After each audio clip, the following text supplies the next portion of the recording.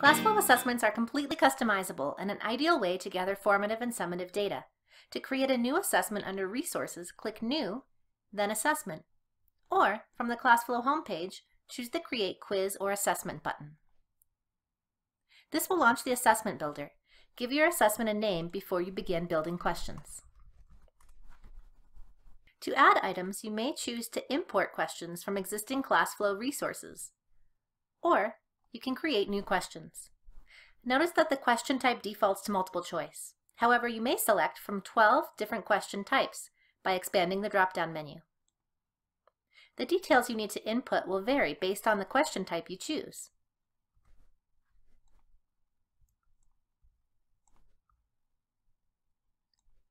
Be sure to select or indicate the correct answer for objective questions. You may also add images, or even passages to your questions.